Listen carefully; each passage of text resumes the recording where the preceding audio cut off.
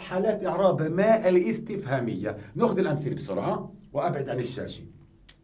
الأمثلة كلها ما العمل ما الحل وما المتفيهقون؟ القاعدة بتقول يا جماعة إذا وقع الاسم بعد ما هي ما بعد ما وقع معرفة هي التعريف ها؟ التعريف ما المتفيهقون؟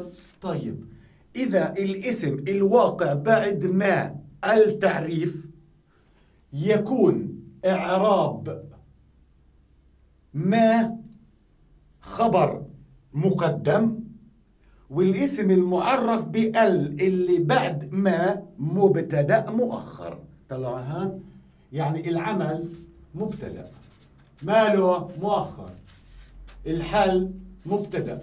ماله مؤخر. المتفيهقون مبتدأ.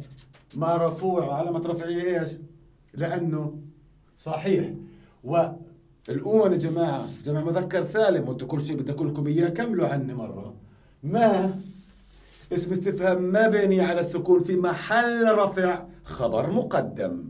وصلت القاعدة إن شاء الله أجيب لكم أي كلمة من المريخ. بعد ما في أل التعريف ما خبر مقدم واللي بعدها إذا باقي معرف بأل مبتدأ مؤخر. أهلين فيش بدكم تغلطوا. طيب نشوف اللي القاعدة اللي بعدها. نبلش نصعب ها؟ نبلش نصعب. ما هذا؟ ما في الصندوق؟ انتبهوا الإشي اللي واقع بعد ما.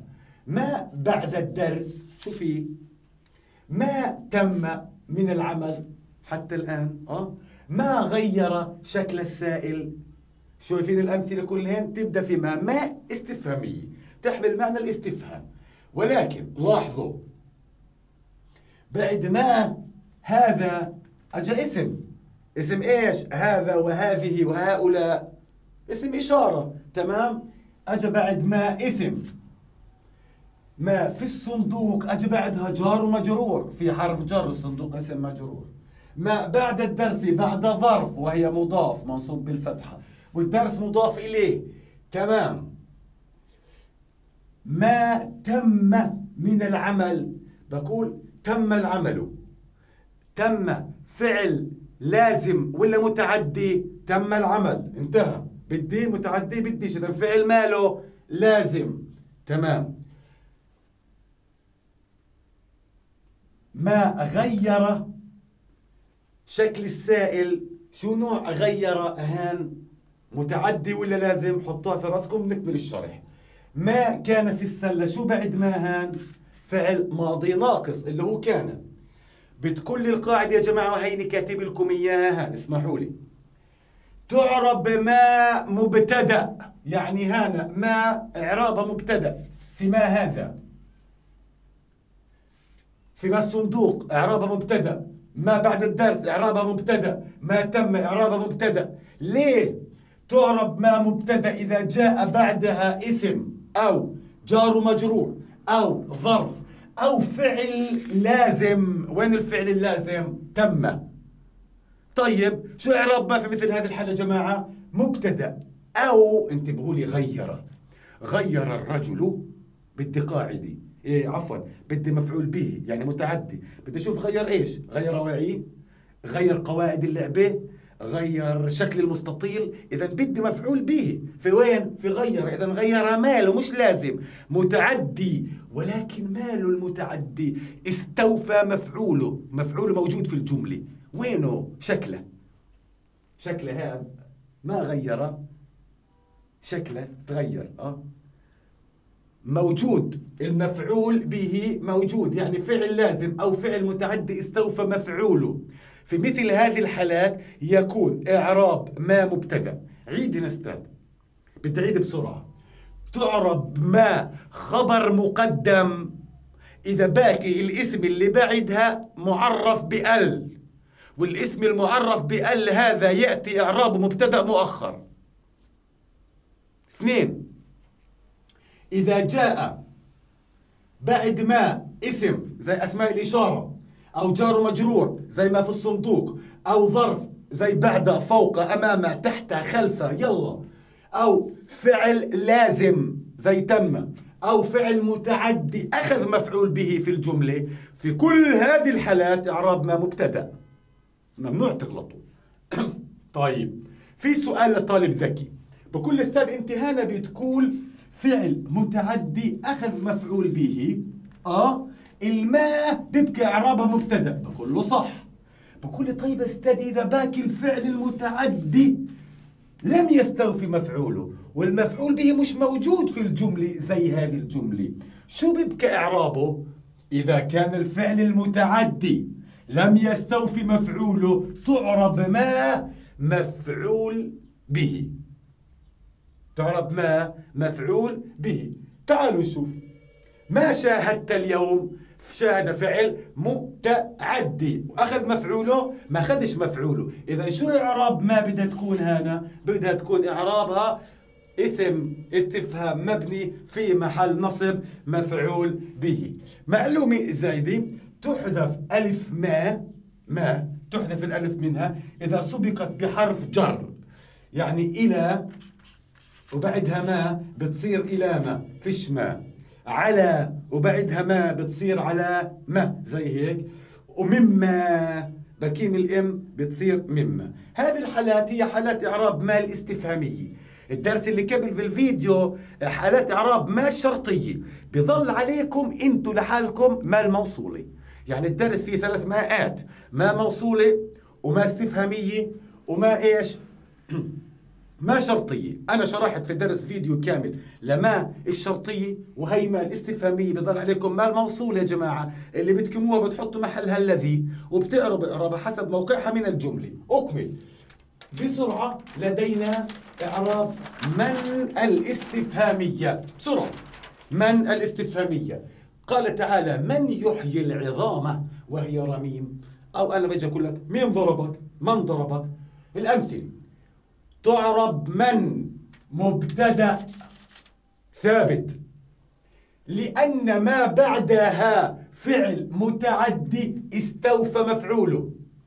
يحيي بنقول أحيا الله ما أقدرش أظل صافن بدي مفعول به. أحيا الله الإنسان أحيا الله العظام أحيا الله الشجر أحيا الله البشر. يعني أحيا ما بتتم الفاعل لحالها بدها مفعول به إذا فعل ماله متعدي متفقين متفقين. إذا كان بعد ها ما فعل متعدي أخذ مفعوله ما هي العظام مفعول به؟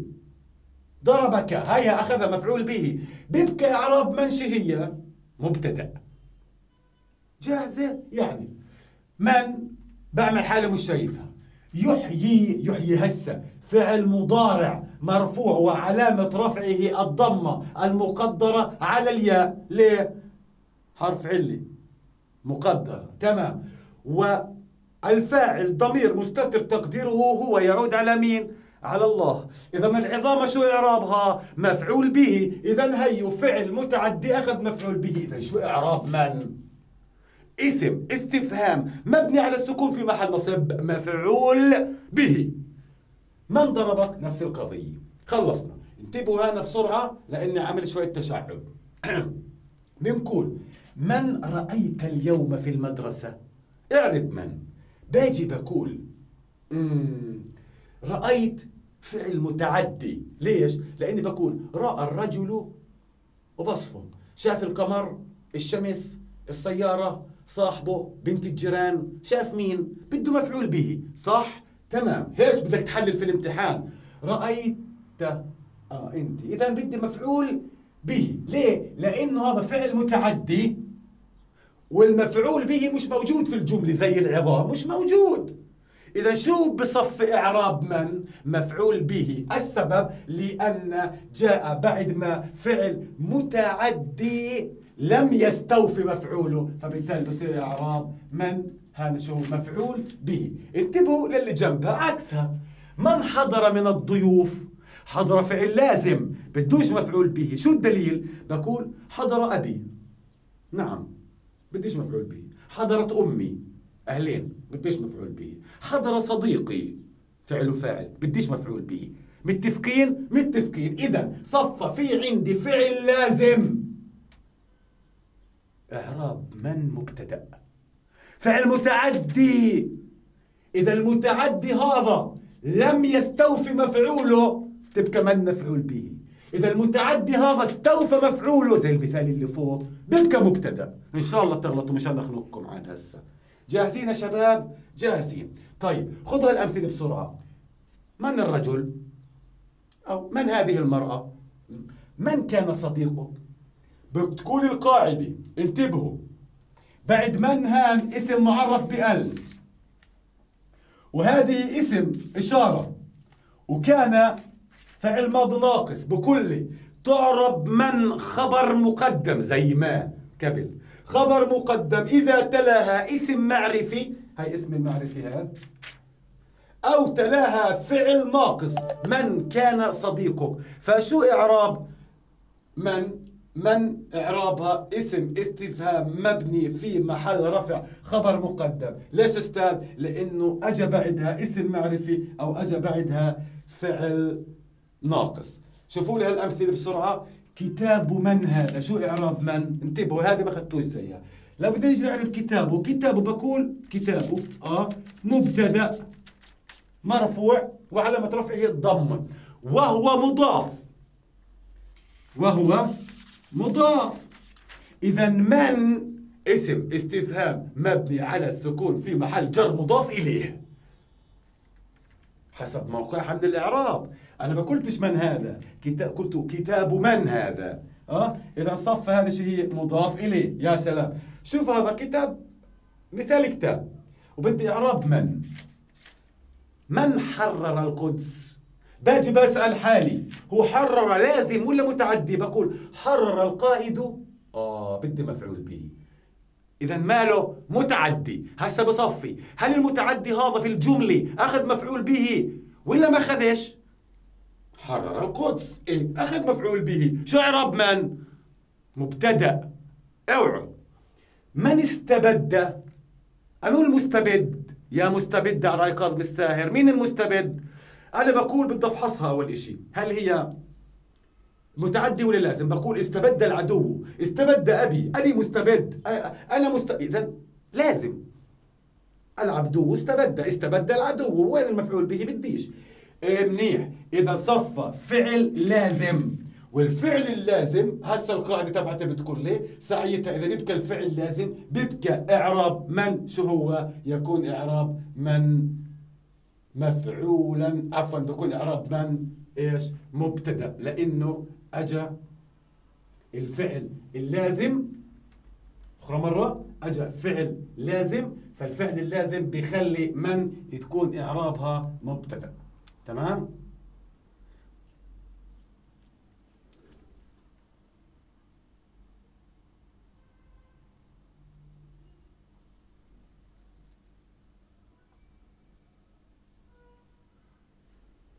هذه الأمثلة اللي أمامكم هي من كتاب آه، من كتاب من أمثلة الكتاب ومن بعضها أمثلة خارجية.